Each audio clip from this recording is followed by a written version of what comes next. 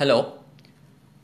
Following the earlier videos where we demonstrated how to create an account and how to add your mobile number into your account, we are going to see how you can access the TTMS application.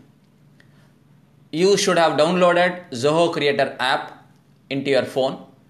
Depending upon the phone that you have, you can download from Google Play Store or iStore or from Windows Store. I already have Zoho Creator in my phone. I need to click on that. And since I have already logged in through my credentials when I updated my phone number earlier, it will take me automatically into the application. If you have signed out, you need to enter your credentials again to log in. Now you see an icon here, TTMS, which is your training application. You click on that, you will see a set of menus. These are the available options for the teachers now. Let us quickly run through each of these to understand what the functionality is all about. Click on the home button. The system will show you a set of icons and each one has a specific functionality. Uh, if you click on about TTMS, it will show you the concept of the program, what TTMS is all about, what is it aimed at, how is it going to benefit, what are the objectives and features, all this will be there. Now, what are the modules that are available to you for training? You can click on the modules, it will display each module one by one under each subject. For Kannada, you have a set of modules and then followed by Hindi, mathematics, etc.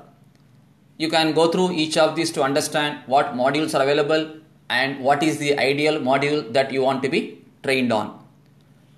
Anytime you click this button, it will take you back to the previous menu. And the very important thing here is how are you going to apply for the modules? Only then you will get enrolled into the training program. Now let me click on the apply module. System will show me my credentials because I have already logged in with my email ID and password.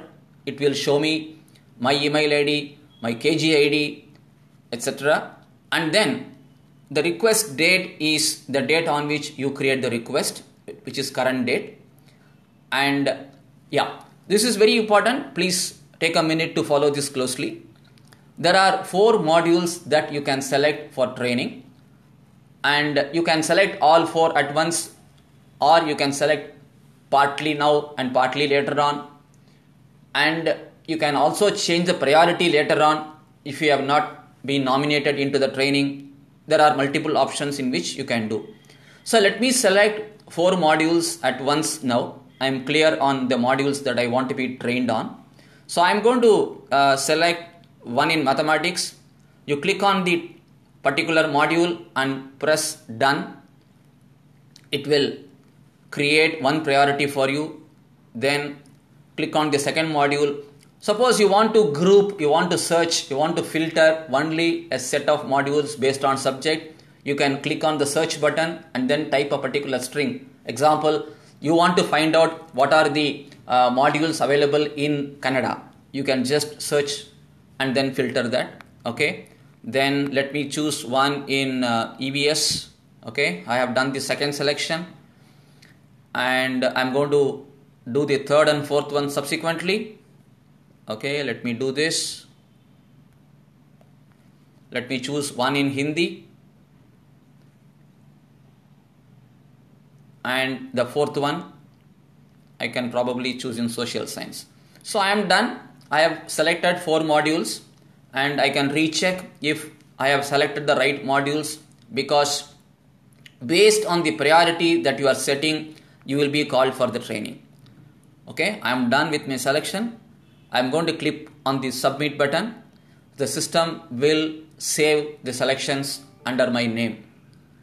Now I can view, yeah, this is the success button that I have got and I can view the modules that I have selected just to be sure yes I have selected the right ones and as soon as I select a module I have selected four modules here as soon as I do that the system will also create an SMS for me confirming my selection and listing the four modules that I have selected.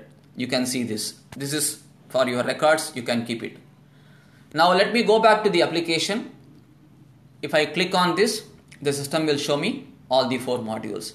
Now if I want to edit if I want to change the selection for example I want to change the fourth one into something else I can click on the pencil button that you can see here.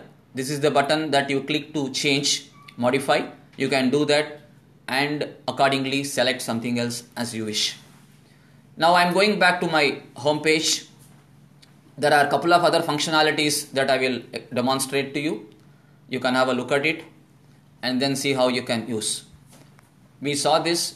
And training enrollment view is nothing but once you are selected once you have nominated yourself into the training and the, when the training is scheduled for your block or district and when you are nominated into the training you will get a confirmation sms on your phone and at that time you can come here and view where the training is going to be done who's the trainer what is the timing what are the dates all that you can see here.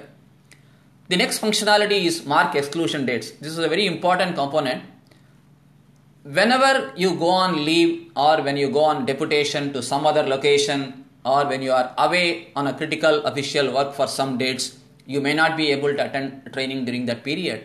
And you can create those dates. You can define those dates here.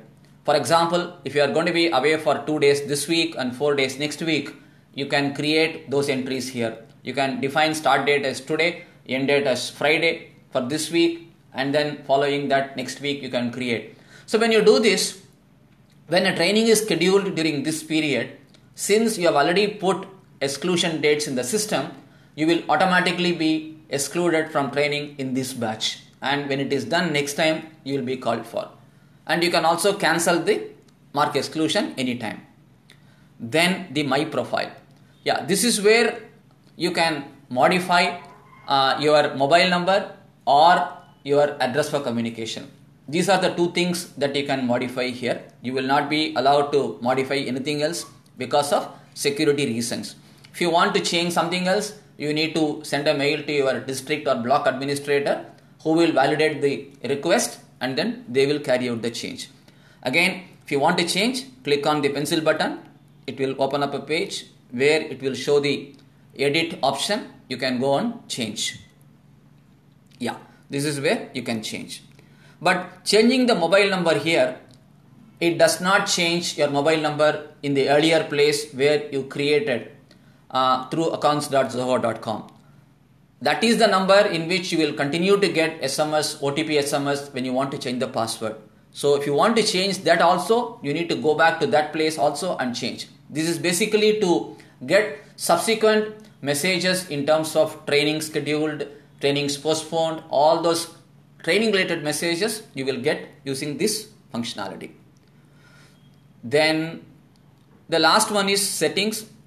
Okay you have done using the application you have created the modules you have seen everything you have created the exclusion dates. Now when you want to log out you need to click on the settings button here. Click on the settings button and you come to sign out button click on that system will take you out of the application. So this is how you log into the application and select the training modules. Thank you